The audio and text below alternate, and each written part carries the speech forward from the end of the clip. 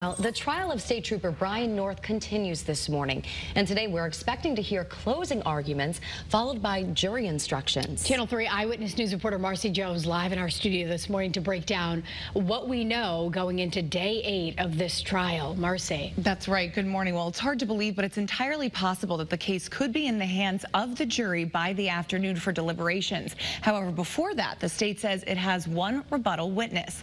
In court yesterday, we've learned that the two expert witnesses were originally hired by the state.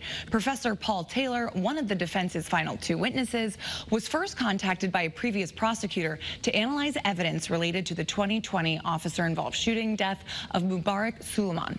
Taylor and another former police officer were asked to produce reports for the state as to their opinion of whether or not Trooper Brian North's actions that January night were justified. However, Judge Hall ruled that jurors would not learn the two were originally consulted consulting for the state and specify that they could provide testimony but not offer their opinion as to whether North's actions were reasonable.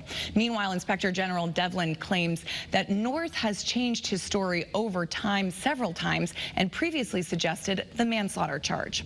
Both attorneys have been told to prepare closing arguments and jury instructions. This, of course, will follow the state's rebuttal witness. In, this, in the studio, Marcy Jones, Channel 3 Eyewitness News.